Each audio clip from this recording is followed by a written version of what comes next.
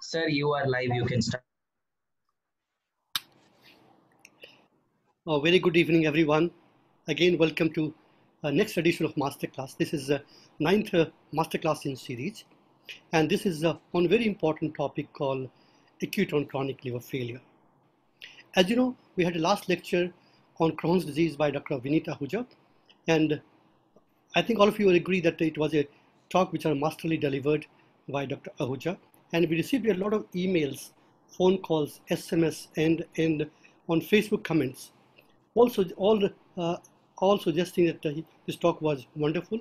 We have conveyed your feelings to Dr. Ahuja, and he in turn has sent his thanks to you uh, for watching uh, his talk on ISG Masterclass. You, you are aware that uh, we have put all the previous lectures on two platforms, that is uh, Facebook and, and also on ISG website, which is ISG website. And in ISG website, you'll find there's a ISG library. And if you open a library, you can see all the talks uh, uh, you can see there. Not only talks, but also we have placed all the responses to questions which were asked during uh, the uh, master class. So they all have been put there also. You might like to go there and see them again. Coming back to today's lecture, today's lecture is on acute and chronic liver failure. And for, for that, we have uh, no other than uh, Dr. Vivek Saraswat. Uh, all of you know that Vivek Saraswat uh, is a head of gastroenterology at SGPGI Lucknow. He is the president of ISG and he had been the past president of uh, INASL. We know that Dr. Saraswat is a great teacher and he has a lot of interest in teaching and education and, uh, and, and, and he has a huge fan following in the country. Uh, he is a keen researcher, so we'll uh, we, we are sure that we'll have again, we'll have a, one more treat uh, of, of, uh, of academics today by listening to Dr. Vivek Saraswat. And to moderate this session, we have invited Dr. Akash Shukla. And all of you know Dr. Akash Shukla is a professor and head of gastroenterology at King Edward Memorial Hospital and uh, GS Seth uh, Medical College in Mumbai and Akash is one of the best known hepatologists in our country. Uh, thank you, Akash, for uh, agreeing to moderate this session. We had uh, viewers from not only from India, but uh, ISG Masterclass is viewed by almost uh, 15 other countries, and including Bangladesh, Pakistan, and many other neighboring countries. for this masterclass, one of the important things that you can ask questions, and we spend a lot of time uh, on questions uh, during mid break of the talk and also at end of the talk. And uh, you can put your question in the chat box, which is there, which is there next to your screen. You can put your question and we'll try to include as much as possible. And what is left out will uh, will send to Dr. Saraswat uh, for his response to these questions later. Coming to today's format, again, uh, will this talk will be for 40 minutes. So we'll break at about uh, 20 minutes, uh, take some questions, uh, which, which will be moderated by Dr. Akash Shukla, and then we go back to his talk, to the second half of his talk, and again take more questions.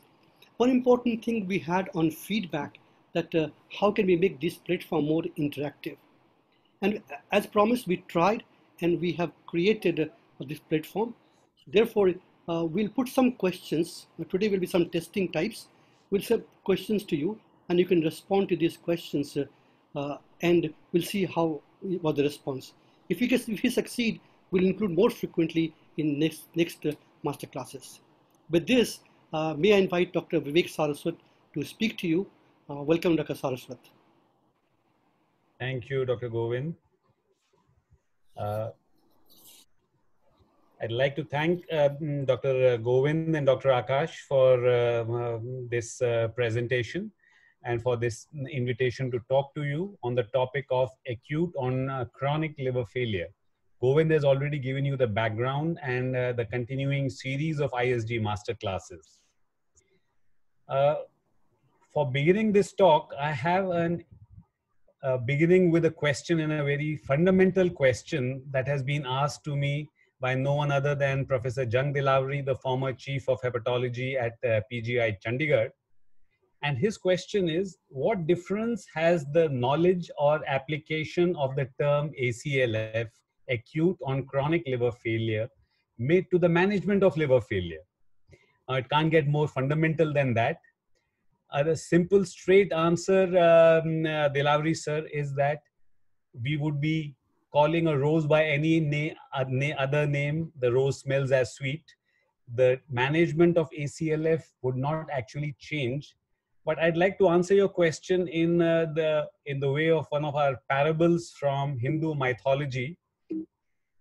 And uh, you know, the Samudra Manthan is something that Indian mythology talks about when the Meru Parvat and the Vasuki snake were used by the Danavas and the Devas and the Danavas to uh, churn the oceans.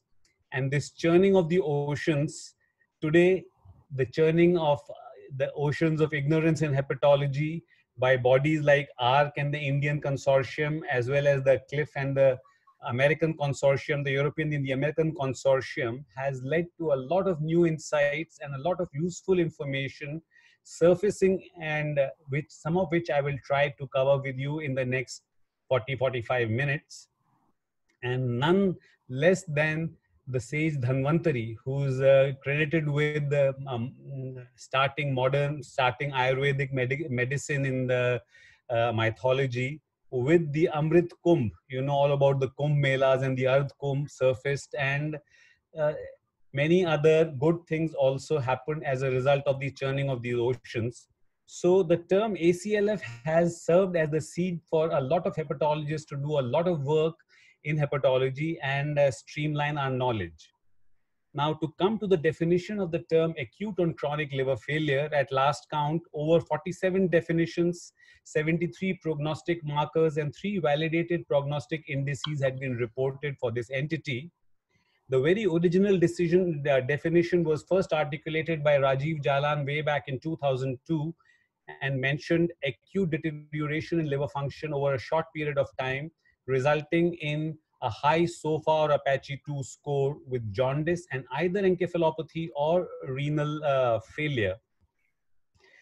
However, the first formal definition was put forward by Dr. Shiv Sarin as a part of the APASL definition in 2009 when he talked of an acute hepatic insult resulting in jaundice and coagulopathy complicated within four weeks by ascites and or encephalopathy in a patient with previously diagnosed or undiagnosed chronic liver disease.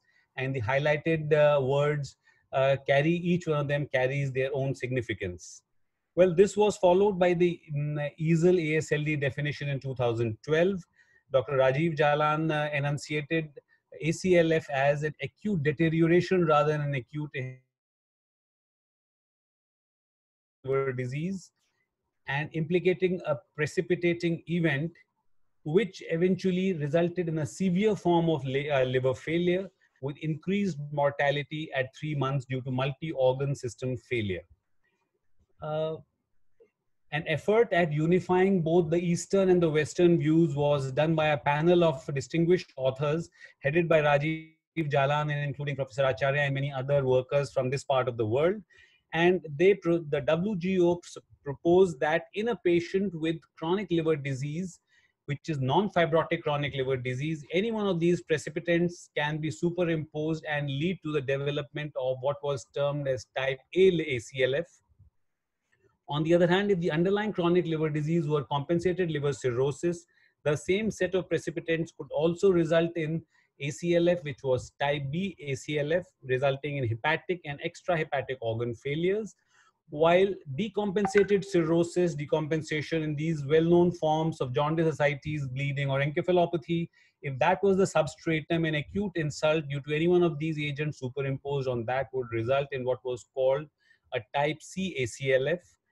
So non-cirrhotic ACLF, it's a very major insult that results in acute in uh, development of organ failures in a compensated cirrhotic, which is the classic Indian ACLF, what we commonly see, patient doesn't know he has cirrhosis, he's perfectly well, develops acute hepatitis, and within four weeks he's decompensated. That is uh, type B ACLF, while in the West, things like alcoholic hepatitis, varicose bleeding, sepsis, on an, unknown patient who has previously been decompensated precipitates what is known as type C ACLF.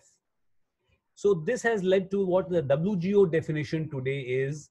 ACLF is a syndrome in a patient with chronic liver disease with or without previously diagnosed cirrhosis with acute decompensation in the form of jaundice and or and prolongation of the INR with one or more extrahepatic organ failure associated with increased mortality at 28 days and up to three months from onset, while the latest 2019 ARC definition is very close, if not matching, except for a few words here and there.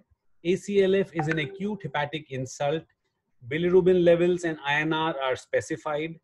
Complicated within four weeks, a time frame is mentioned with ascites and encephalopathy and or encephalopathy and they've added an increased 28 day mortality. So you can see that convergence that the churning going on over the last two decades is already resulting in a fair amount of convergence in the definitions.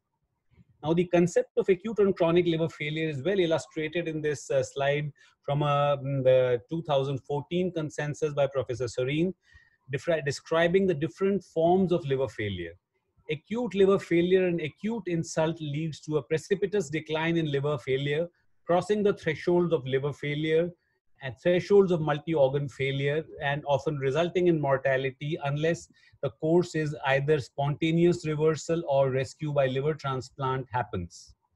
In decompensated liver disease, already the threshold of liver reserve is down because of uh, previous chronic liver disease and an acute result insult results in deterioration below the thresholds of liver failure and organ failure and may be fatal. But there's hardly, if any, reversibility, and there is a slow worsening in this uh, um, uh, situation. Acute and chronic liver failure, on the other hand, starts from a lower baseline than uh, um, uh, mm, acute, but better than decompensated chronic liver disease. Often they are compensated crosses the various thresholds and retains the potential for reversibility as the acute insult uh, is um, uh, runs its course and the patient is supported through the episode. But usually they return to a baseline which is below the pre-decompensation baseline in the given individual. So comparing the um, and the EASL concepts, as you can see, there are minor differences, but probably the central difference is that the APASL group thinks and the South Asian groups feel that liver failure is the central feature of ACLF, which is responsible for poor outcomes, while extrahepatic organ failure is felt to be the major cause in the subset of patients described by EASL-CLIF. Again, sepsis and variceal bleeding are con uh, considered precipitants by the EASL-CLIF group, but are discussed and uh, thought uh, not to be precipitants by the APASL school of thought. Now, coming to the spectrum of acute and chronic liver failure in India, uh, between 2009 and 2017, over 10 series with over 1400 patients, beginning with what was an HEV ACLF series we reported from Lucknow, and going through all the major centers, as you can see, mainly in the northern part of our country, had been uh, reported. But probably, probably the most authoritative series is the one published by the Indian, the INASL consortium in 2016 in which over a thousand patients who were identified to have ACLF in the previous one year were pooled together and Shalimar led this work up from the All India Institute. This uh, study used the APASL 2009 definition, but the CLIF SOFA severity definitions were used for want of a, any of an alternative at that point in time. This is a list of the centers and the contribution from these centers. And this pie chart shows you what the acute precipitants were found to be. And as you will see, over 36% of patients reported, centers reported alcohol as the commonest acute precipitant, while the flare of a viral infection or a super infection by HIV or HEV was responsible for one in five patients with acute precipitants. While this pie diagram of the underlying chronic liver disease again shows that the commonest underlying cause was alcohol in almost 60% of patients, followed by cryptogenic and underlying viral cirrhosis, the, uh, underlining the changing demography of liver disease in India in the last couple of decades.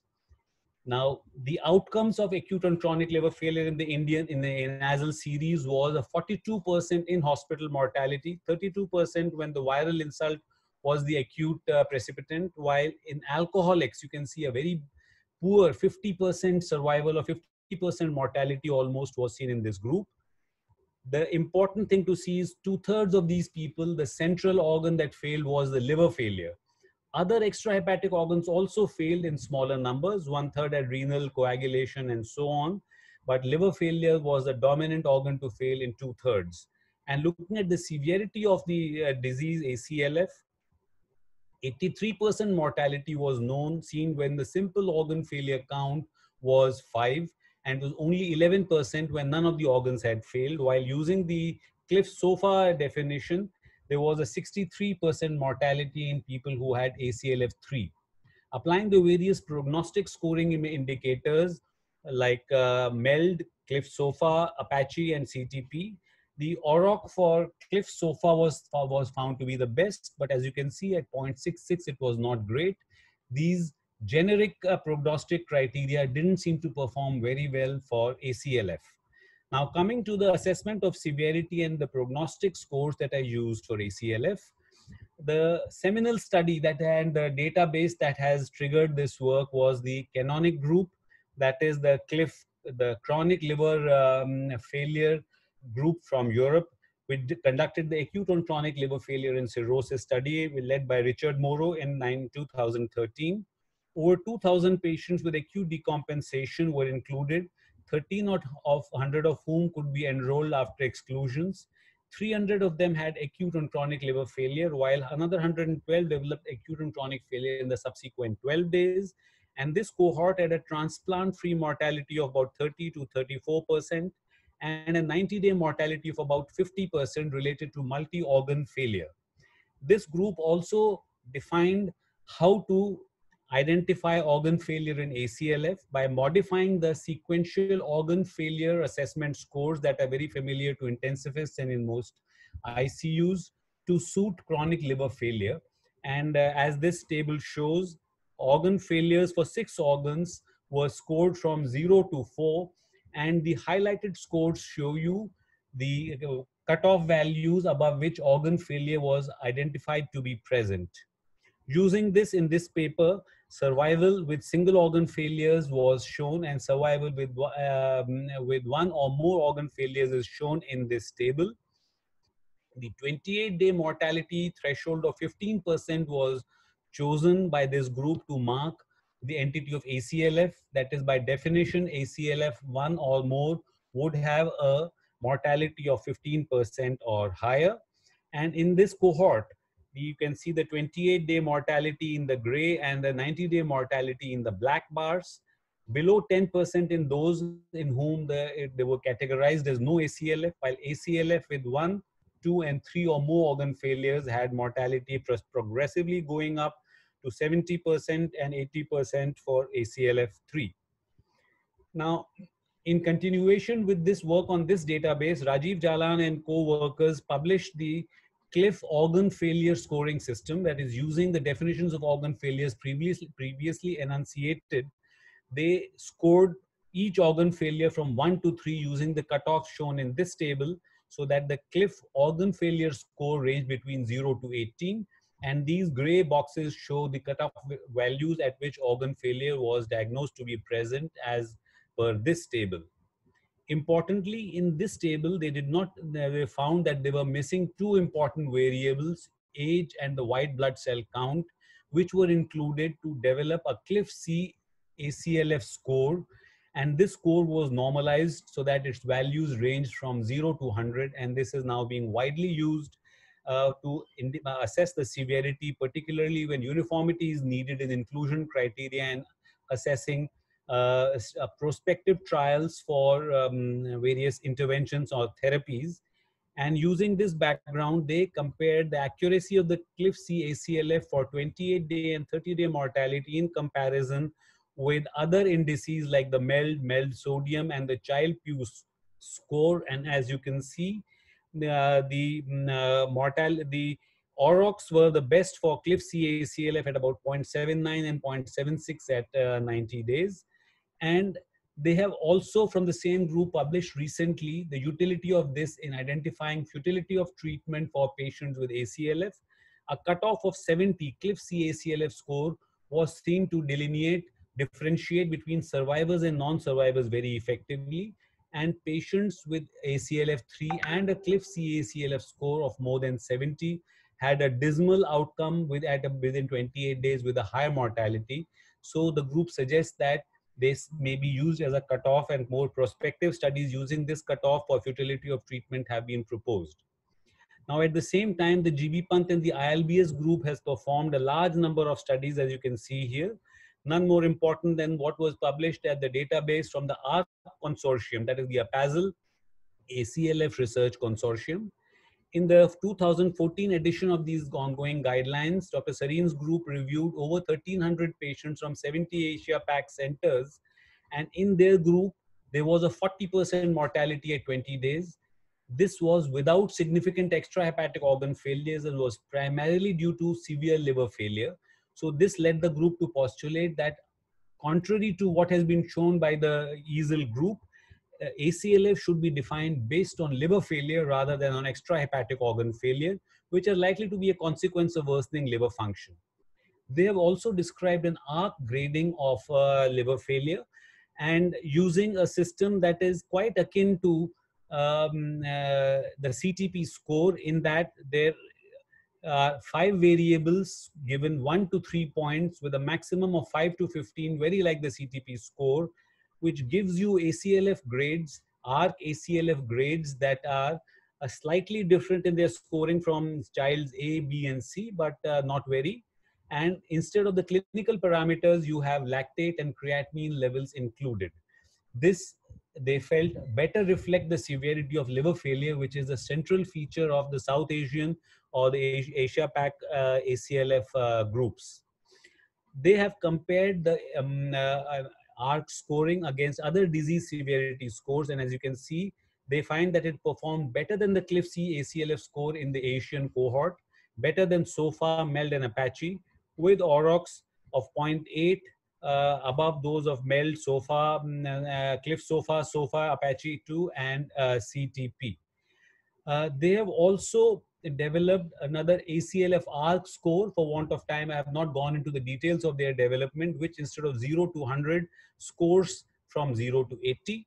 And they have studied the dynamic changes, somewhat like the uh, what has been done for the ACLF by Professor Acharya's group at day 0, day 4, and day 7. And they have shown how it can be used to predict interventions, as I will come to later in this uh, presentation. So with this, I come to the end of the first part of my um, presentation. And I this is a question for the audience poll. Maybe we can also take some questions while the audience is polling their answers.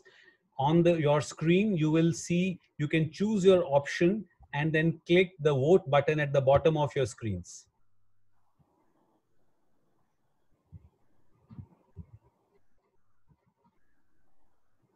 So in the meanwhile, maybe if Akash is ready, we can probably take a few questions while the audience uh, cast their votes. Yes, sir. Uh, I think thank you for a lovely introduction and and uh, brilliant overview of uh, the definitions and very interesting. This uh, I think uh, initiation and thought process. It was really amazing. Akash, but we have we are flooded with questions. Akash, just one second. yes, sir. The question would have come and on your on your pop up on yes, your window. Sir so please respond to uh, A, B, C, D, E, and uh, we'll see the results uh, at in end of the talk. This is just a test question, but uh, Dr. Sasula also asked one more question uh, during his presentation. Right, Akash, please. Akash. Yeah. So uh, the first question uh, is, has actually been asked by two people, Dr. Ratra and Dr. Vishnu Agrawal from Jaipur. they have asked which definition should we use for our uh, routine clinical practice or for different reasons. So they've just asked what definition should be. You have given all the definitions. Yes, I think uh, it's uh, for what the kind of ACLF we are seeing in India, particularly in the northern part of our country where ACLF is being uh, has most often been reported from. The central feature remains severity of liver failure. bilirubin's above 15, 20, 25, ascites the dominant feature, and drifting into encephalopathy. And I think personally that the ARC uh, definition scores over the EASL-CLIF for this. Also for reasons that it gives clear cutoffs. So prospectively, you know which patients you can include and apply the label of ACLF2 and include in any intervention studies you might have in mind. Unlike the EASL-CLIF where things are a bit loose-ended. Their severity is only declared once the illness has run its course and the patient has either died or recovered. So I think I personally would favor the ARC. The limitation of the ARC uh, ACLF definition had been that their severity indices and all these had not been well developed. But in the last two or three years, the ARC ACLF score as well as the uh, the AC, the ARC uh, grading and the scoring has also come along, so that can allow you to uh, grade the severity with these definitions. Uh, the next question is from uh, again asked by two people. Dr. Amit Joshi from Indore and Dr. Uh, Piyush Thakur from Varanasi. Both of them have said that if the patient has low bilirubin, less than 5, and the other criteria for ACLF are fulfilled, would you still consider this patient as ACLF or no? Well, conceptually, this would be considered ACLF. But as we have said, the, uh, now both groups agree that a central part is poor outcomes and high incidence of organ failures with mortality. Often in the EASL group, where you have the type C ACLF, where there is an underlying chronic liver uh, decompensated cirrhosis is present, there often with a bili below 5 and with kidney failure or single organ failure, the outcome is poor. But in patients who have underlying non-fibrotic uh, liver disease or who have compensated cirrhosis, if the bilirubin doesn't cross the, cross the threshold of 5, generally the severity may not meet the criterion of 50% or higher mortality within 28 days. So conceptually, yes, it could be ACLF, but ACLF, we are trying to identify a group with uniform severity so that we do not have a problem with the analyzing results of intervention studies. And if we include people with milder severity, it may pose a problem from this point of view. So there's one more very interesting question which has been asked by Dr. Anirvan uh, from Dibrugarh. He says, we are, can, is it possible that we apply APASL that is the ARC criteria for definition, and use the EASL-CLIF criteria for uh, prognostication or, or any such combinations? Right. See, I think many of us did this during the time when the ARC criteria, their severity, their scoring systems and grades were not developed. In the early years, some of our papers got accepted. For example, the INASL consortium paper, which applied the uh, APASL criteria for inclusion, but applied the CLIF consortium criteria for prognostication. But since then, I've had a few manuscripts refused by the reviewers who say, no, either you go by this one way or the other. You can't pick and choose because they are based on a different set of patients, on different uh, parameters of severity, and uh, so if you choose the APASL for inclusion, then kindly apply the, uh, the APASL ARC criteria for severity, grading, and uh, scoring, right? So mixing and matching doesn't work any longer. So there's also another very good question by Dr. Naveen Yadav from Jodhpur.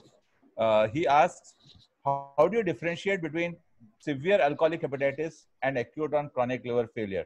I'll just add to it does it really make a difference if you differentiate between the two? Yes, I think Akash, it does. But as we go along, we'll see.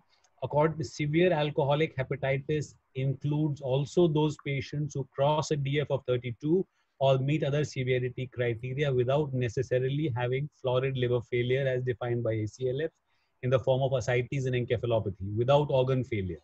So SAH is a broader definition in encompassing organ failure along with the um, uh, uh, severe alcoholic hepatitis without organ failure. Now, I think there are many papers, and I'll come to them in the later part of the presentation, which have shown that probably the worst outcome of ACLF is in um, SAH ACLF, severe alcoholic hepatitis that has gone on to one or multi-organ failure. And these are the group of patients that often have 50, 70, 60, 70% mortality. So uh, yes, they should be treated differently. Steroids for SAH can often not be used in people with ACLF, while they can be used in uh, without organ failure more easily, and that is where the most experience with steroids is uh, available. Sir, I'll take two quick questions before uh, we, we resume your talk, uh, because I think they're, they're very rational, uh, important questions what they've asked. So one is by Dr. Bhavesh Bhoot from uh, Bhavnagar, and he asks, what is the rationale of including mortality as one of the defining criteria? Yes, something that I've been pointing out repeatedly in our group.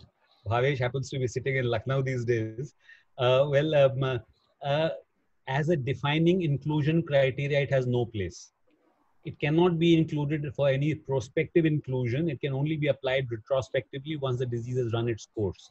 Nevertheless, in group definitions for choosing criteria for statistical analysis of databases and for giving you all these scoring systems and severity indices, the cutoff criteria of ACLF is no different from any other liver failure until you talk about its severe form and the risk of high risk of mortality it carries related to organ failures.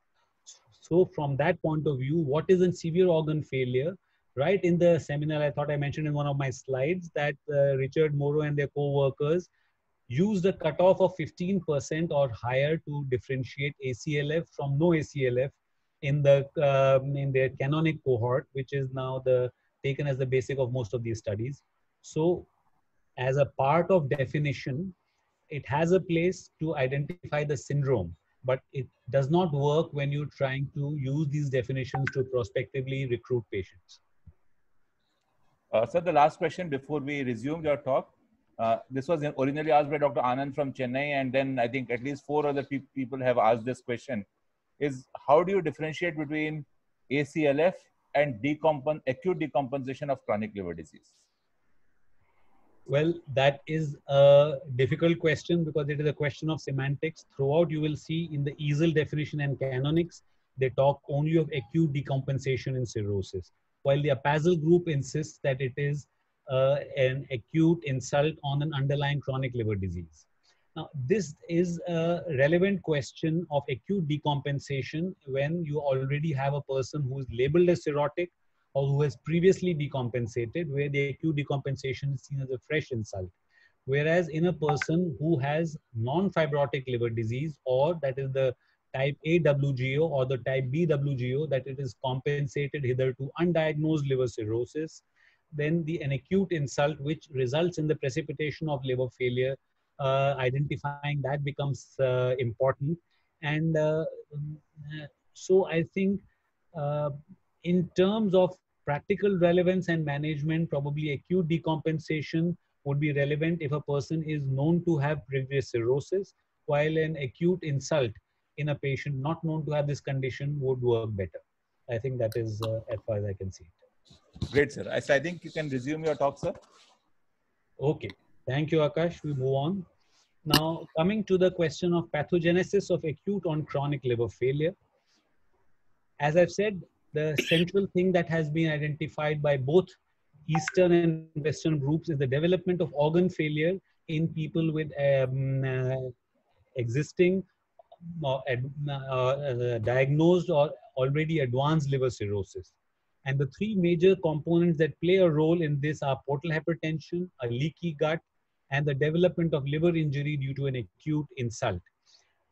Now, as we well know, uh, in a cirrhotic liver, in chronic liver disease, obstruction to portal flow, resultant shear stress and release of vasodilators from vessels results in splanchnic vasodilatation and a decreased effective arterial blood volume, which results in significant major hemodynamic changes and activation of endogenous vasoconstrictor systems that serves as a substrate for the development of organ failures.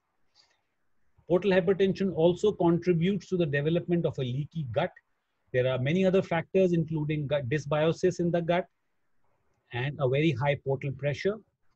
And this results the leaky gut and the breach of the intestinal mucosal barrier, intestinal permeability barrier results in translocation of gut bacteria and products activating pathogen activated um, um, molecular uh, associated molecular patterns that exacerbates splanchnic vasodilatation and further results in activation of a host of immune cells, resulting in a, a systemic inflammatory state of a more greater or lesser severity being unleashed by the release of chemokines, cytokines, nitric oxide, And translocation also results in a, propensity for increased bacterial infections that exacerbate this entire process.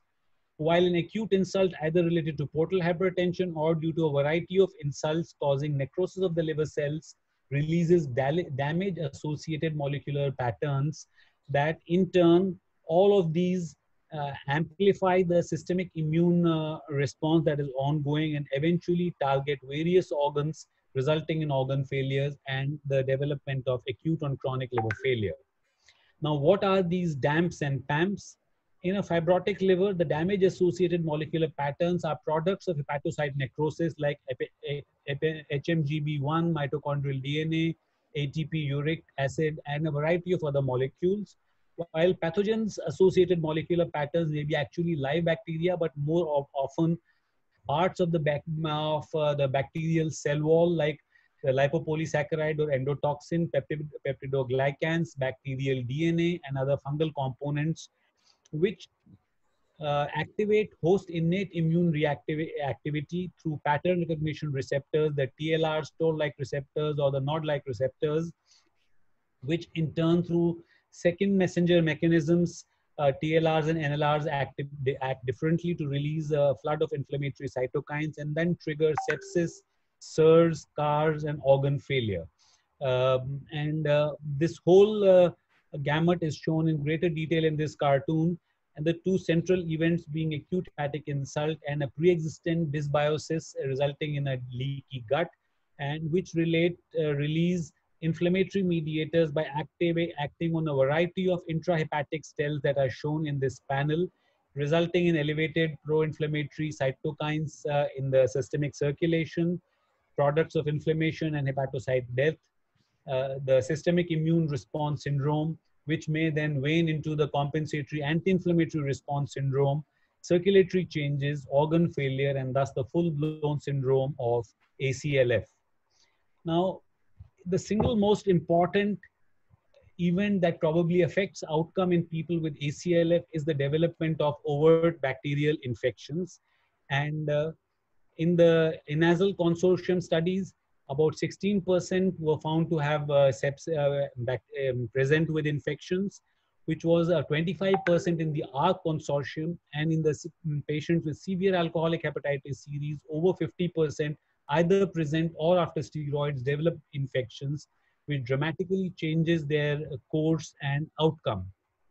This sepsis is multifactorial, but the major factors contributing are the increased intestinal permeability resulting in bacterial translocation, endotoxemia, release of circulatory BDNA and other DAMPs and PAMPs that I spoke of in the previous slide, which in turn leads in a, at a low grade level in the CAID or the cirrhosis associated immune dysfunction in which uh, the endotoxins or the lipopolysaccharides are responsible for macrophage monocyte dysfunction and neutrophil dysfunction. And this then results in an increased propensity to the development of infections. Now coming to increased intestinal permeability in ACLF, this is the normal intestinal permeability barrier the unstirred outer mucus layer normally mucus layer can often be penetrated only by a few bacteria because it is guarded by various antimicrobial proteins or secretory IgA. The intact epithelial uh, mucosal um, epithelial barrier as well as the transcellular pathway sealed by tight junctions serves as the third important mechanism to uh, protect the mucosa, and finally a subepithelial immune cells, the IgA macrophages um, and gamma delta intraepithelial lymphocytes are all mechanisms that help to prevent the penetration of bacteria. Now, how does one study the intestinal barrier? The lactose, uh, the lactulose mannitol ratio, which was usually measured by HPLC, but we have been doing it at SGPGI using proton NMR techniques. Uh, checks for a leaky gut using mannitol, which is uh, uh, passes through the transcellular pathway, while villus atrophy, which, uh, which decreases mannitol absorption, and lactulose is a molecule that tests the paracellular pathway. The method is briefly shown here and was standardized at SGPGI in a paper that Dr. Ghoshal from our center published way back in 2009. Uh, we have looked at these data in a study that we have published recently from the Central Biomedical Research uh, bio, for Biomedical Research, where we have looked at the uh, LMR ratio and the intestinal permeability in healthy controls, which is quite low. In people with compensated cirrhosis, we found that the bacterial, the intestinal permeability is increased and a dramatic jump in this permeability has been noted in acute and chronic liver failure. And it is this leaky gut that is probably respond, responsible for the huge flood of noxious agents and uh, cytokines. And in the recent study that uh, we are still analyzing, we have been able to find a correlation of a similar nature between healthy controls, compensated cirrhosis, and decompensated cirrhosis prior to the development of ACLF in the pro-inflammatory cytokines, endotoxin, and CD64 levels in the circulatory um, system. Now, in ACLF, a precipitous rise in portal pressure is probably a cause for a dramatic increase in intestinal permeability, and that uh, may serve as one of the reasons why uh, extrahepatic organ failure sets in. Decongesting the bowel uh, may, by an effective means, which we have been doing in our center by using uh, diuretics with albumin and terlipressin, improves, has been, we have observed, in, improves extrahepatic organ function as well as 28 day survival. And therapies that target gut microbiota and intestinal permeability, for example, fecal uh, microbiota transplant, probiotics, and other agents. Um, Dr. Rajiv Jalan is working on uh, um, uh, activated charcoal for absorbing bacterial products, which is in a, research, in a conceptual stage at present. These may be newer approaches that may help us to modulate the intestinal permeability. Uh, the Jalan group has also studied at the effects of um, uh, this increased IP and the impairment it causes uh, due to uh, the um, uh, bacterial products that leak into the systemic, systemic circulatory in polym, uh, polymorph function.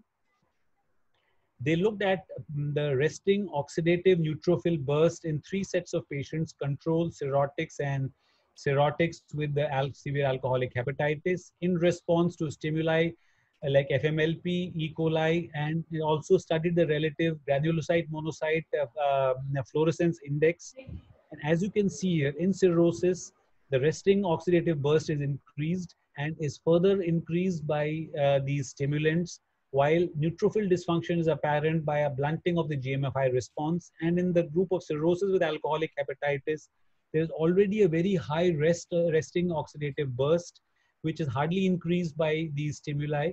And there is significant impairment of neutrophil function by shown by a drop in this index. Now, looking at the significance of these, when they correlated with survival patterns, they found that those with a resting higher oxidative burst, as well as those with poorer phagocytosis, had poorer survival at uh, 90 days. And uh, similar studies from the same group have shown that circulating neutrophil dysfunction in cirrhosis is associated with a poor 90 day and a poor one day mortality, so thus showing that neutrophil dysfunction is an important component in the uh, causation of increased infection, infections in ACLF, particularly with related to alcoholic hepatitis. Now, this brings us to the point that early diagnosis of acute infections probably plays a crucial role and may help us in managing our patients with ACLF better. And what are these different tools that we have for early diagnosis of infection? Commonly, we use biomarkers like TLC, CRP, and procalcitonin which do not help us much in differentiating between inflammation and sepsis. They go up in both situations. There are a couple of newer biomarkers like the neutrophil CD64 expression and uh, bacterial DNA in the circulation that can help us in differentiating between situations like severe alcoholic hepatitis where inflammation is present and when bacterial infection gets superimposed on this condition, how do we differentiate? So neutrophil CD4 exp expression is constitutionally seen on macrophages, monocytes, eosinophils, as well as neutrophils.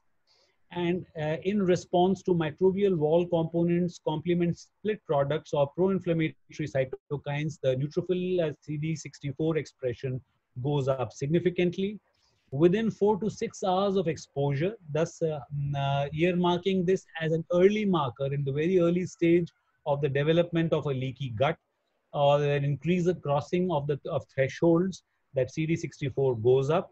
And it may be useful in distinguishing infection from inflammation without infection in patients with severe alcoholic hepatitis and ACLF. Now, CD64 has been used extensively in immunology rheumatology circles, but not so much in hepatology circles. And we recently carried out a study at SGPGI in which using 20 controls and 68 patients with severe alcoholic hepatitis who were categorized into those with proven or probable infection vis-a-vis patients with SAH without infection in whom CD64 uh, expression as well as procal, CRP and the other biomarkers and including neutrophil lymphocyte ratios were studied and the criteria used for proven and probable infection are as uh, shown in these boxes.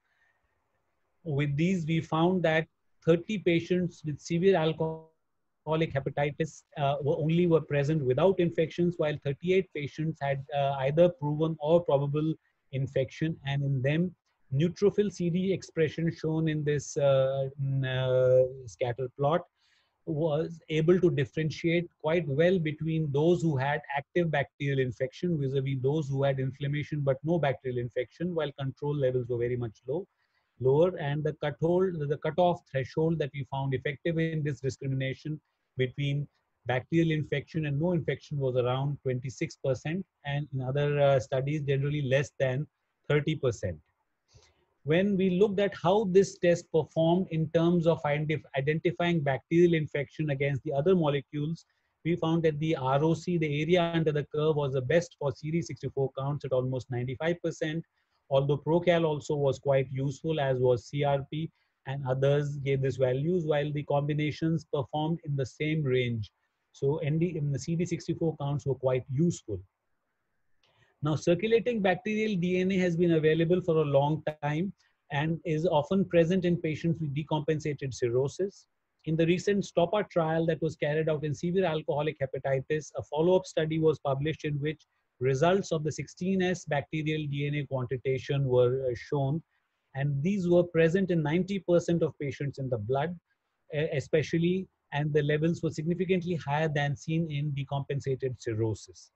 They found that a cutoff of about 18.5 picograms per ml best predicted infection within seven days of starting steroids with 80% specificity and a higher 90-day mortality was seen when the BDNA cutoff was above uh, this threshold.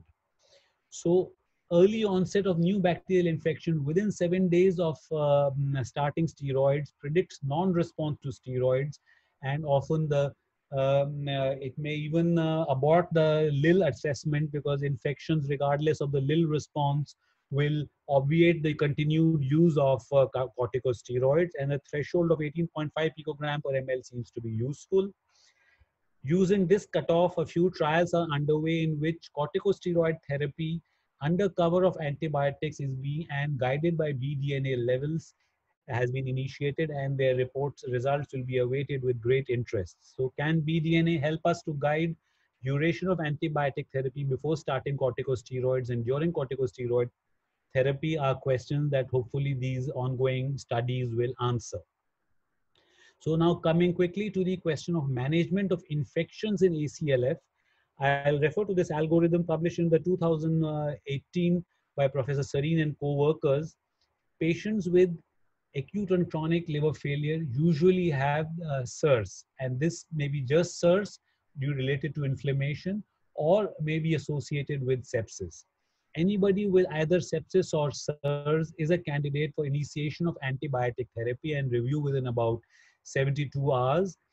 In case the patient improves, you can de-escalate. In case a culture turns out to be positive, the patient uh, can uh, be escalated to appropriate antibiotics. However, on empirical antibiotic therapy, there is no improvement as shown by development of new features as are shown in this box, this would be an indication to broaden the spectrum of antibacterial coverage and add antifungal agents. However, in people without SIRS or overt sepsis and who do not have um, uh, who uh, have uh, infection, who do not have infection suspected or proved, there is no need to start antibiotics and you can be followed without antibiotics. But despite absence of SIRS, if there is a strong suspicion of infection, for example, in X-ray test showing an infiltrative patch, one would start antibiotics and escalation would then depend on the response to antibiotics in 72 hours as you would go on. The specifics of which agent to use in which setting are often guided by local center choices or their sensitivity patterns. So in this segment, I think I'd like to conclude this part about infections, showing that it is a major concern in liver uh, disease and the debate whether it is a precipitant or is a complication is uh, superfluous. Infections are a major factor at, uh, influencing outcome and detecting and developing better tools for early detection to allow more uh, rational and earlier treatment um, uh, for infection in people with SAH and ACLF is important.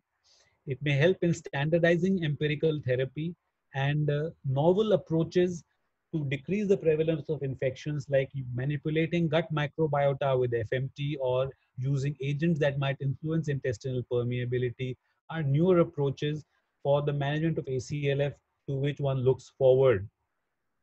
Coming to other aspects on the management of acute and chronic liver failure, the central tenets that one would talk about are management of the specific etiology, the acute precipitant or the underlying disease. And I'll be mainly talking about some aspects of severe alcoholic hepatitis. Management of SAH is well beyond the purview of this talk. Corticosteroids and other uh, debates are so extensive that they will be part of another talk in this ongoing series at some point. Management of HBV ACLF I'll be addressing while AIH, Wilson's disease, all of these are niche areas seen in small patients, small sets of patients, and they do need independent management. Management of complications of liver failure is uh, as you would manage portal hypertensive GI bleeding, management continues to be similar. Ascites mobilization is a moot point. Many people do not emphasize ascites mobilization except for doing LVPs when forced However, in our center, we have been working on ascites mobilization, mobilization using a um, uh, response-guided paradigm regime, which I have spoken of in various fora on various occasions. The data are too numerous and too vast to be discussed here, and I'll also reserve this uh, for some uh, uh future point in time. Another cardinal part of management of is early detection and identification of infections that I've just dealt with in the previous set of slides. And finally, management of extrahepatic organ failures, acute uh, kidney injuries, and the various forms of, of uh, organ failure are with multi-organ support modalities are ICU level managements and regimes that need to be uh, followed in detail and depending on the individual combination in the given patient. I will, in the remaining few minutes left to me in this talk, try to talk to you about antivirals for hepatitis B virus related ACLF, the role of GCSF for severe alcoholic hepatitis, and some data on fecal microbiota transplant for uh, severe alcoholic hepatitis related ACLF. The short-term prognosis, some early studies in 2002-2005 before the more potent antimicrobial antivirals were available suggested that the short-term prognosis of exacerbations of chronic hepatitis B reactivation leading to ACLF was extremely poor with a very high mortality, with the liver transplant as being the only definitive therapy. Lamivudine was not found to be superior to controls, but with the uh, introduction of tenofovir, a potent, rapidly acting, high genetic barrier nucleoside analog, highly effective in suppressing HBV replication, a new era in the treatment of HBV ACLF was launched, exemplified by the first randomized controlled trial published by Hitendra Garg and uh, Shiv Sarin from, IL, uh, from GB Pant Hospital in 2011. In a cohort of 90 ACLF, they identified 27 patients with HBV reactivation due to chronic hepatitis B, 14 of whom were treated with tenofovir and 13 with placebo. And a significant improvement in survival at three months was noted in this subset, as shown also in this Kaplan-Meier uh, uh, chart. They further found that not among the survivors, the severity indices like CTP MELD improved, and there was a fall in HBV DNA noted at two weeks. And in fact, they found predicting a two log or more reduction re predicted survival. Finding a two log or more reduction at two weeks predicted survival while um, uh, an absence of this predicted a poor outcome. Subsequently, this was part of the ARC consensus recommendations in 2014. Several studies have also confirmed the value of this two-log reduction in two weeks and immediate introduction of uh, nucleoside analogs at uh, the diagnosis of HBV ACLF is uh, recommended with potent antiviral agents as shown here and checking the decline of HBV DNA at two weeks. In fact, there are some ongoing studies which are looking at whether as in acute liver failure, the use of potent, dual potent like tenofovir and entecavir combinations may actually hasten the decline of DNA and thus improve outcomes in these very sick ALF, ACLF patients. Now coming to the role of granulocyte colony stimulating factor in ACLF, the rationale with which it was introduced was that it was thought to improve hepat uh, hepatic regeneration by mobilizing CD34 cells. A large body of data on the use of mesenchymal stem cells, hematopoietic stem cell infusions showing that it might improve hepatic regeneration had gathered.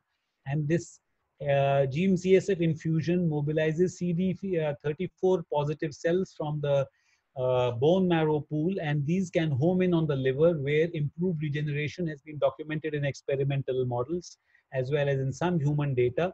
Dr. Sarin has shown that uh, uh, liver biopsies in these people showed a higher CD34 count after GM-CSF. Also, HGF and hepatic progenitor cell proliferation was found to be increased in experimental as well as human biopsy data also there was some thought as was found in glycogen storage type 1b that it uh, gm-csf may correct neutrophil dysfunction. We have spoken about which in the earlier set of slides. The first uh, study that uh, was random uh, the trial that was published using gm-csf was again by the ilbs group in 2012 in which 47% with the 47 patients with aclf after certain exclusions were randomized to GCSF and the placebo. And the 60-day survival as well as liver, uh, liver severity in disease were assessed and a significant improvement in 60-day survival as well as in liver severity in disease was reported in these studies as well as effective mobilization of CD34 positive cells in the peripheral blood as well as in the liver biopsy tissue were reported there are impressive changes in the treated patients vis-a-vis the uh, untreated patients in uh, severity in disease. And the conclusion of this study was that more than a twofold uh, increase, uh, increase in the percentage of patients who survived two months was noted with GM-CSF therapy, as well as improvement in other organ failures was reported uh, by this group. Shortly thereafter, a Chinese study studying patients with HBV ACLF also reported favorable results in 55 patients with HBV ACLF randomized to GCSF versus uh, placebo after certain exclusions and monitoring peripheral CD34 count as well as liver function indices and improved survival at three months. That was two months. This was three months was noted in almost half of these patients. Uh, and uh, they concluded that GCSF did promote CD34 cell mobilization from the marrow and, and uh, also concomitant improvement in liver function. Subsequently, a number of studies almost exclusively from the Indian subcontinent, uh, three studies from the ILBS group, um, uh, his, this Chinese study I spoke about, uh, Anil Arora's group from Gangaram, Virinder Singh from Chandigarh, have published in a recent, Mamun has published, Mamun al-Mahtab has published from Bangladesh. These studies uh, have uh, two of them on ACLF, three of them or four of them on decompensated cirrhosis using various combinations and randomized controlled trials, often placebo control have been shown. And in general, they have reported improved patient survival at two months, three months, even up to 12 months in these three or four studies with improvement in liver severity of uh, liver function in disease. However, interest has been aroused by this study that has come from the UK, the Europe, that is uh, Phil Newsome and his group from uh, three centers in UK published this study using decompensated liver cirrhosis with a MELD of between 11 and 15.5 in three groups who received either GCSF or GCSF plus autologous stem cell infusions on three occasions versus standard medical therapy. And not only did they find no significant improvement in MELD at short intervals over a period of 30 of 90 days, but they also reported a higher complication rate with GCSF and uh, stem cell infu infusion groups in particular. Uh, a recent uh, publication that has appeared in the Journal of Clinical and Experiment, the INASL Journal in 2020 by Abby Philips, uh, in uh, patients with advanced decompensated liver cirrhosis, a large number, 56 patients were reported in this group, and they were compared with historical controls. CTP is quite high, MELD was above 24, and open label GCSF was used. And they actually reported deleterious or harmful effects in patients treated with GCSF with shorter survival at six months than with historical controls with equal severity, death being related to sepsis or liver failure, and worse CTP and higher complication rates even at six months in this uh, cohort. This is just uh, to tell you about the, um, the realistic trial that uh, I just spoke to you in the previous slide in brief. Those interested can actually go and read the full reference. Uh, we will finally, yeah, last uh, few slides. We took a lot of questions in the middle. I'll take another two or three minutes uh, now. So we come to the conundrum of uh, use of JCS, GCSF in advanced liver disease. And in a very good review, Abby Philips has recently shown that while there are these black things tell you India, the clinical uh, reasons why one favors GCSF, although some of these are not so well established, are only um, uh, shown in a very small numbers. And these are the molecular mechanisms which show how these uh, effects, favorable effects are obtained. But at the same time, in the same group of patients, negative effects like development of sepsis, predisposition to HCC, and other effects on liver function by these various mechanisms have been shown. So at the moment, it appears that more basic research in identifying subsets of patients who where this uh, therapy would work and more clinical data are required before GCSF therapy can be used widely and more studies are needed. Finally, some important slides on FMT in severe acute hepatitis. FMT, as we have talked about gut dysbiosis and the variety of factors as shown in this cartoon and already discussed in this uh, presentation earlier, are, um, FMT may modify the gut microbiota and may correct many of these adverse events. And in fact, the first pilot trial of FMT in severe alcoholic hepatitis in patients who were steroid ineligible again came from ILB from ILBS and again uh, Abby Philips and Dr. Shiv Sarin were the lead authors. Eight patients who were corticosteroid ineligible because of active infections or recent GI bleed received FMT from healthy donors and they were compared with 18 historical controls treated at the same time. As you can see, they had very high severity indices by MELD and CTP score. Improvement was noted within 17 days and over a mean follow-up of almost one year, only one of the FMT patients died versus 12 of 18 who had uh, not received FMT and there was good improvement in the CTP indices and the results of FMT in the term of bacterial species being noted at 6 to 12 months in the recipient as well as improved mechanisms were reported. Finally, I think a large study has recently been reported in the form of a letter to the editor in the Journal of Hepatology by Abby Philips from Kerala of the use of FMT in steroid ineligible severe alcoholic hepatitis with ACLF. They've used it in 88 patients 23 of whom have been followed for uh, 18 months, 1.5 years, and uh, with either low grade or high grade ACLF at presentation, with a mean C ACLF score of 93.6. Remember, 70 was mentioned as the futility level in ACLF. High CTP differential and the MELD uh, scores, and they had a 66% survival at one and a half years again, the late deaths were at quite late, almost at 40 or 400 days of survival. And which compares extremely favorably with the high mortality of ACLF2 and ACLF3 patients uh, at uh, 90 days. And grade 1, 72% survival, grade 2, higher grades of ACLF, 58% survival, which are good results, which encourage these authors to speculate that in these steroid ineligible group of patients who are candidates or who are not candidates for either transplant or corticosteroids, uh, before declaring futility of treatment, it may be worthwhile considering FMT as a salvage option. With this, I think uh, there are uh, algorithms for modulating this and the interest in FMT is shown by these large number of ongoing trials in liver disease. Liver transplant from ACLF, I am not covering. It is too large and too vast a topic for this presentation. And with this, I'd like to leave you with this brief algorithm. In acute and chronic liver failure, this is in South Asia using the ARC criteria, acute insult should be identified and if treatable, it should be treated in this manner.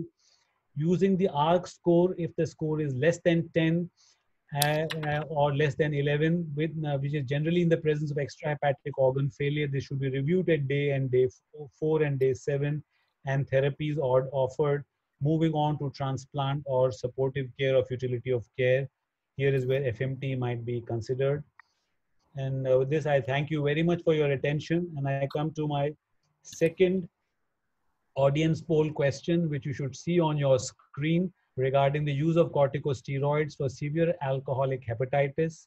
You can choose your option from A to E and uh, press the vote button at the end of your screens. And uh, while we take questions, we'll get the answers to the audience poll from the moderators. Thank you very much and over to you, Govind. Uh, the question is yet to come to audience because this take about 20 seconds. So I've been watching on the Facebook and question has come just now. So you can respond to this question and we'll look for what was the response. Uh, Dinesh, after this, you can uh, change the screen from Dr. Saraswat to your screen uh, to show the responses to these two questions. We wait for 10 seconds and then we go to, uh, if uh, Dr. Saraswat, if you can stop showing your screen, then we can go back to responses. Uh, Dinesh, can you show the responses, please? Uh, meanwhile, uh, thank you very much, uh, Dr. Saraswat, for a wonderful exhaustive talk on a very important topic. There have been a lot of dif differences in the definitions, uh, quite difficult to understand, but uh, uh, you did a great job. And I think most people, many questions will be asked about definition, and I'm sure that we got the answer about that. with this, I leave. I invite Dr. Akash to take the questions further on. And we have about more than 200 questions already listed here. So, Akash, please. Akash, you're mute. Akash, you're mute. It's unmuted. Uh, thank you, Dr. Saraswat, for uh, for covering this very difficult topic in such a lucid manner uh, in such a short time.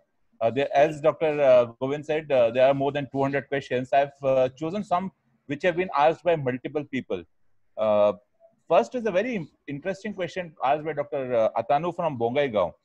He says that most patients with ACLF uh, have a history of taking complementary and alternative medicine.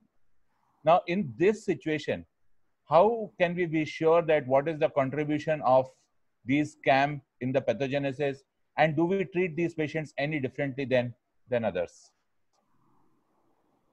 If, if the patient has uh, acute on chronic liver failure, any severe form of liver failure, any and every medication, CAM or others, need to be stopped straight away. That is the first thing I would say whether or not this CAM has contributed or not. Again, there was a JCH paper again from Abby Philips in Kerala in which they have looked at this closely and given you some pointers and uh, reasons why they have suspected CAM in their patient, which you could use to guide your decision making. But in most situations, especially in the absence of prospective monitoring, it is very difficult to be sure of the role of uh, CAM and alternative medicines, and it may remain unanswered. As to how to treat them, I can really not think of uh, any uh, different ways of therapy.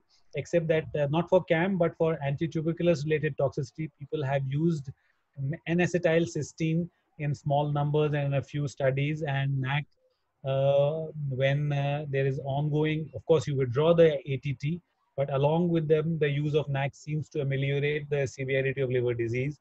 But again, these are data that need to be validated in larger numbers and in larger, uh, from larger centers before one can recommend its use. But these are kind of things that you would do in desperate situations. So everybody seems to know that Samudra Manthan not just uh, Amrit, but also the halahal that Lord Shiva has in his gullet uh, till this day, and the Kamdhenu. Uh, the others, no, no, Devi Mohini is associated with this episode because she duped the Danavs and gave all the Amrit uh, to the Devtas, the, to the Devas. Right, so that is the Samudra Manthan question answered quite well by the majority. And the next. Uh, right. So futility of the Lille score, if it is more than 0.5 is absolutely the correct answer. Uh, in fact, uh, if the BDNA is less than 18, the risk of bacterial infection is lower as it is if the CD count is uh, less than 30%.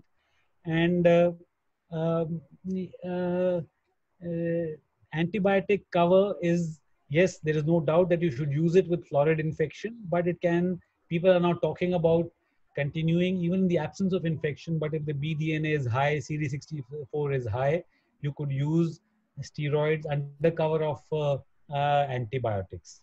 So that's so much for the panel questions. And back to you, Akash. Yes, sir.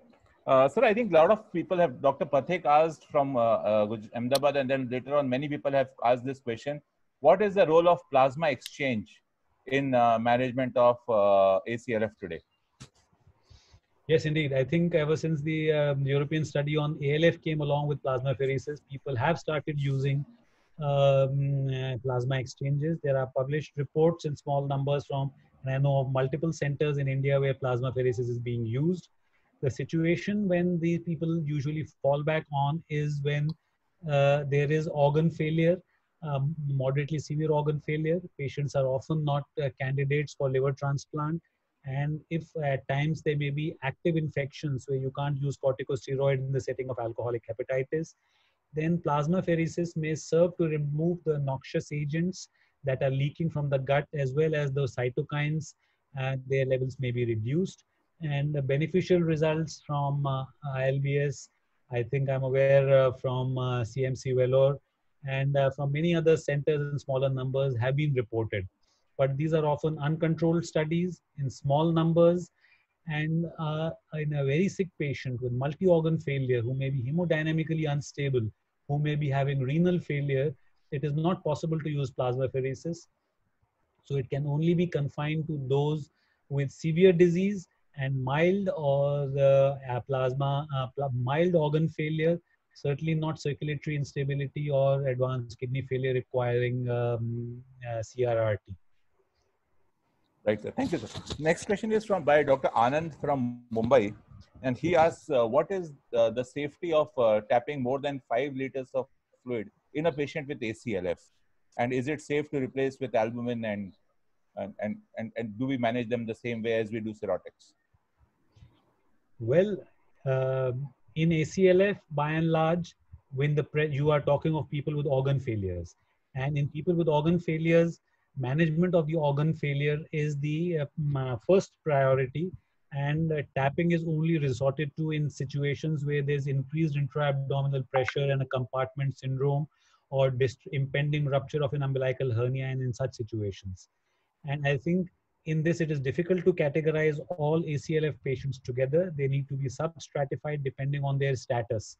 In hemodynamically unstable people, in people with the uh, hypotension or with people with the uh, kidney failure, it is very difficult to give albumin replacement. Albumin replacement is not possible. In other situations where there is less severe organ failure and milder degrees of organ dysfunction, it may be possible to use uh, um, uh, tapping with albumin infusion. But tapping without albumin infusion will definitely precipitate or risk worsening the due to post paracentesis circulatory dysfunction, it will risk uh, worsening renal failure. uh, and or make a patient who does not have renal failure go into renal failure if you do not provide albumin support. So a lot of juggling and balancing has to be done with the use of these therapies, particularly LVP with albumin support uh, in people with ACLF. Uh, Dr. Sharad Dev from uh, Varanasi asks, uh, what is the exact role of NAC and GMCSF in centers which do not have transplant facility? Should they be trying this in ACLF patients? Well, GMCSF we have talked about. GMCSF, I think early on people have realized the latest paper that was published from ILBS has talked about using this in patients with um, with the um, less than with a MELD score of less than 16 and only showing benefit in those. So you're talking of the narrow group of 11 to 16. Uh, uh, the recent data from uh, Kerala seems to show that in people with advanced liver failure or with it is very it may be risky and may be counterproductive to use GMCSF. So regardless of whether you are a transplant center or not a transplant center, the window for the use of GMCSF appears to be quite narrow. And if you are to believe the results of the realistic trial, the, even in this narrow window from 11 to 15.5, they reported a poor outcome. But this poor outcome was dominantly in the subgroup with the GCSF was used along with stem cell transfusions on three occasions. What role the stem cell transfusion played in the negative outcome, one can't say. But the results were there, but not as bad as when GCSF alone was used. So that's so much so for GCSF. For NAC, in ACLF, I think the data are very uh, flimsy. The uh, for non-paracetamol acute liver failure, there are stronger data, particularly from the King's College group in the, the UK, where you could consider using it. On analogy, no. Probably NAC in this situation would more be therapy to bolster the confidence of the physician rather than benefit the patient too much, I'd say you, instead of doing nothing and uh, masterly inactivity, you might choose to use NAC. But uh, I don't uh, have uh, access to much data showing benefit with NAC in ACLF. Uh, thank you, sir. The another interesting uh, point which people have asked, Dr. Krishna from Hyderabad and Dr. Nilesh from Surat, have asked about the use of beta blockers in patients with ACLF. So we had on one hand initially people stopping the use of beta blockers as soon as ACLF was diagnosed. And on the other hand, now we have a paper which says that beta blockers, even in the absence of varices, may actually improve survival. So, can you give a broad guideline as to what uh, should be done by the difficult? Difficult. Life is becoming difficult with the beta blockers. I thought it was all very clear: window open, window shut. You'd get a low map. You develop uh, uh, ACLF and ascites. You stop beta blockers. This new uh, paper uh, in the ACLF has um, uh, stirred up uh, the old debate once again. So possibly in a subset of ACLF, uh, beneficial effect of beta blockers may still be seen, but what is very, very clear is that beta blockers have a negative effect on hemodynamics in general. So if your MAP is below 85, below 80, you should certainly not be looking at. The mean arterial pressure has to be in the high 80s or 90s if you are comfortable uh, want to continue with beta blockers. The benefit of beta blockers again needs to be further looked at closely in subset analyses to identify those subsets where the benefit was identified and stick to those. And my guess is it is going to be in people with the lower severities of ACLF, again in the 11 to 16 MELD uh, bracket, and in those who have a MAP above um, 80, 85 millimeters of mercury. Thank you, sir. Uh, one important topic, uh, sir, which we sort of uh, we, we didn't discuss, uh, obviously because of want of time, you have not included, is about transplant. But I think one of the key questions which uh, which many people have asked in, in different ways, including Dr. Piyush Thakur from uh, Varanasi and and many others, is about the timing of transplant in patients with ACLF. The key thing is we can do it very early in the course of disease, but then you have a problem of uh, probably transplanting some of those patients who might recover. On the other hand, if you delay it by a few days, very often infection sets in and then you lose that window and you lose a lot of patients. So should you be doing very early or you should be doing after the patient has recovered from this acute episode and has sort of stabilized enough to undergo transplant safely. So what what would be the right timing for these patients? Yes, I think that in itself uh, forms a 10 minute segment on the liver transplant and ACLF because this is the crucial question too, too early uh, or too late. See, if there is a treatable etiology of identified like HBV, ACLF, there is no question you would first treat and not rush in for transplant. So I think we are having excellent results. And in fact, now in people with advanced ACLF, uh, the role of very rapid lowering of viral load to increase uh, the uh, time to improvement in organ failure severity by using dual potent antivirals is being explored. So there you would not. Similarly, if a patient is eligible for corticosteroids, is in that window, uh, one may consider using corticosteroids. The um, and uh, if you get a, fa a, favorable response and the Lille score drops below 0.545, then yes, you may avoid a transplant.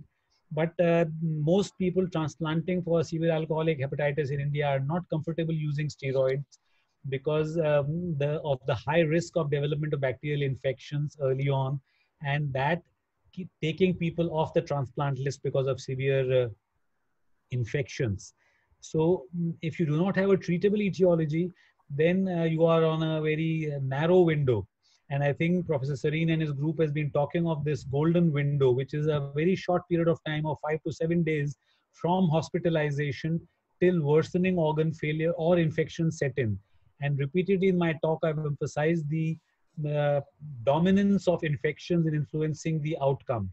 So uh, Uh, while research areas are focusing on ways to decrease the risk of infection and to manage these infections better and time them better, in terms of transplant, it is very, very difficult and probably timing of transplant may also be helped by screening with CD64 and bacterial DNA levels to pick up subclinical low-grade bacterial infections that may be ongoing in these patients to better choose those who are not likely to run into the problem of infections post ACLF. Having said that, the results with transplant in ACLF have been quite uh, encouraging, up to 70% one year survival, 70 to 80% one year survivals with from in large groups from Eastern Asia and from some a few Indian centers also in the short answer centers. Short answer. Yeah, that's it. So, there's some more questions we can take. Otherwise, uh, we'll get back to yeah. One or two more questions, Akash. Yeah. So the uh, interesting question other is uh, use of corticosteroids in patients with uh, severe alcoholic hepatitis as well as with autoimmune hepatitis. The question asked by many people again here is, can we do this empirically for these two groups without doing a liver biopsy? See, in uh, both of these situations, the diagnosis is often based on the liver biopsy. The you are in a very difficult situation in diagnosing severe autoimmune hepatitis, which often has a fulminant or a subfulminant course without the help of a liver biopsy. Uh, markers may lead you astray. We do not do the full panels of autoimmune markers that is done in the West. We do only very few markers in our country in routine practice. And uh, there is this interesting entity of autoimmune marker negative AIH.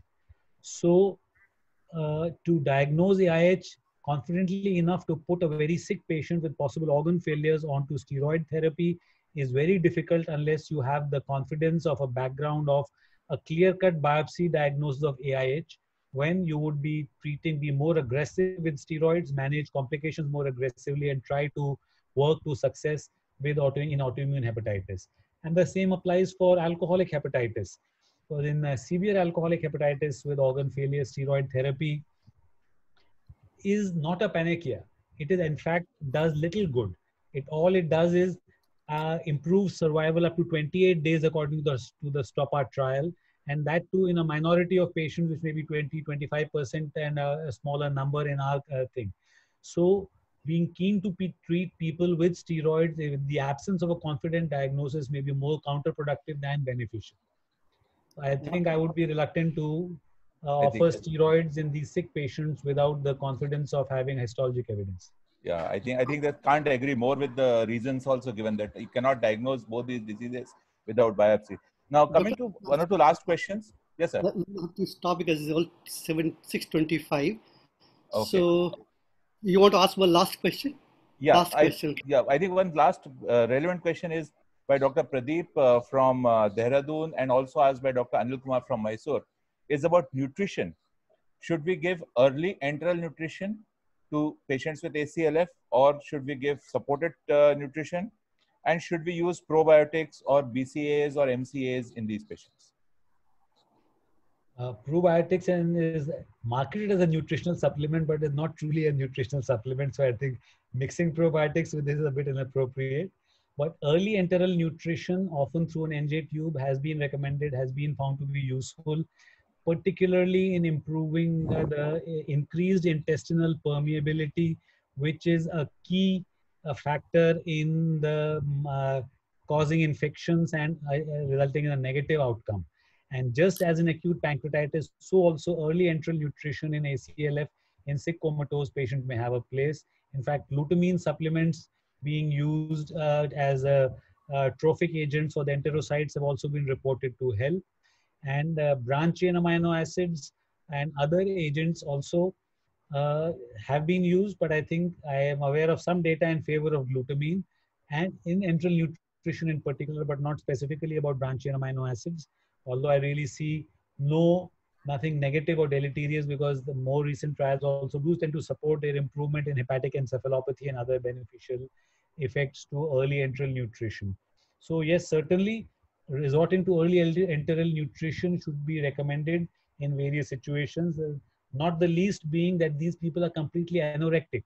They are tensely distended. They often refuse to eat anything. And to get anything down and including enteral nutrition is a bonus and may be considered early. Great, sir. That's it. Uh, Thank you so much. Over to you, uh, Thank Dr. you, Govind, now. Uh, a lot of people are watching on Facebook, and uh, I take one or two questions from Facebook, which Akash couldn't have seen. One a question from Chandan Yadav. Uh, he, he asked that uh, can HCC precipitate ACLF? a very interesting question.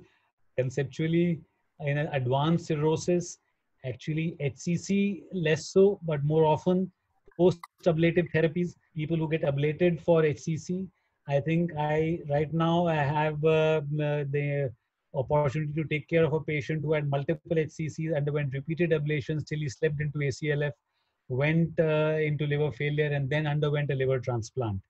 So HCC per se presenting as liver trans as uh, ACLF, I'm not very sure that I've seen, but uh, nothing being impossible in medicine, I can't say that uh, it cannot happen, uh, especially when complicated by vascular occlusions like um, EHPVO or Bud, or Budd Chiari, it can certainly do so. Uh, that's all I can say on this. All right, sir. Thank you so very much for a wonderful talk on, on this topic. Uh, we have almost more than 250 questions. We could take about uh, 20 odd questions during this live session, but certainly many of the questions which we read through are very, very relevant. I think responding to these questions will be helpful to uh, our viewers. So certainly these questions are on your way. Uh, so, okay. so, so for, for your kind response. Uh, thank you very much, Dr. Akash, for a, a wonderful moderation of this session, and you have been so graceful. Uh, for the whole of this uh, uh, program was seen today by many people on Facebook and almost 1500 on, on the live on the, the, the masterclass. The, Uh, we had two more things to do. Uh, one was that uh, the, the, the question we asked, two questions we asked, there was some delay uh, in showing the questions and looking at response. We'll coordinate that uh, much better next time we have been we are talking about doing a, a online uh, or or virtual bedsides. We are still working on that, and we'll come back to you by Sunday on that.